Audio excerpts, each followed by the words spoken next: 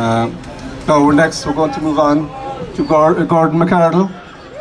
Uh, Gordon wrote, and I have to write this down, the, the Compassionate Use of Medical Cannabis Act, which has been submitted to the government and they're uh, looking at it right now, so we're told. So we're hoping that uh, the law will be changing this year. So Gordon can tell you more.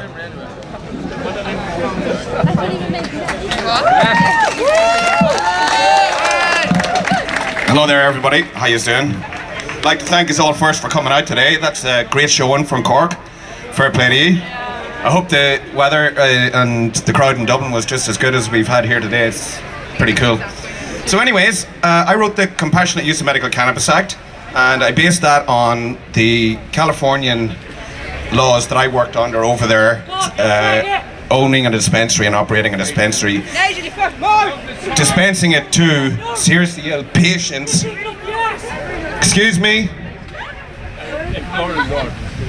So, anyways, uh, I was dispensing cannabis to patients in California under their law SB 420.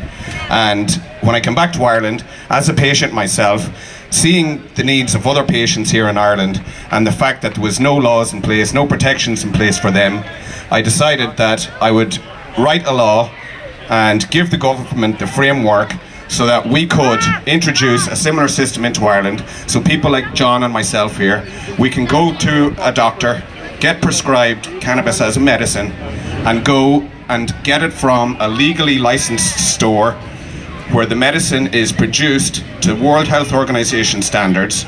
There's no glass, there's no iron, there's no bullshit in your hash, there's no bullshit in your grass. You're just getting the cleanest, highest quality medicine that should be available to patients all over the world today. It is a crime. It is an absolute crime against humanity that we do not have legalized cannabis medicine worldwide today. It is genocide. That's the only way I can see it. Okay? Every single one of you out there has an endocannabinoid system. Every single person alive today has an endocannabinoid system. And that system is designed to receive cannabis. Your body genetically is based on using cannabis. And everybody you know should be using cannabis, medical, medically or not.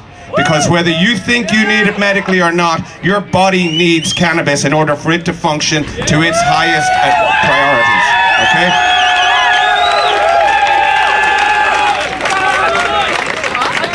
So when you go home tonight, tell your granny, tell your mammy, tell your daddy to sit down and roll up a nice big fat spliff and do what's right for them, okay?